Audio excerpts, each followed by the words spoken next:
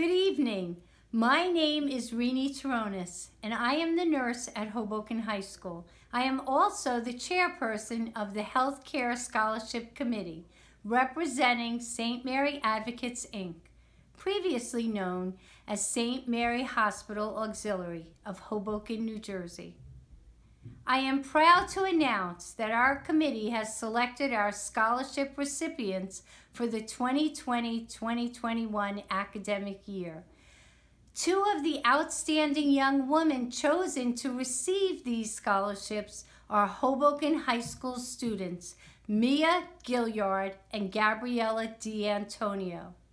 Both Mia and Gabriella are members of the National Honor Society they are both known for their academics and stellar community service.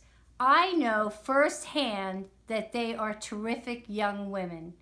St. Mary's Advocates, Inc. is committed to investing in the academic futures of New Jersey students.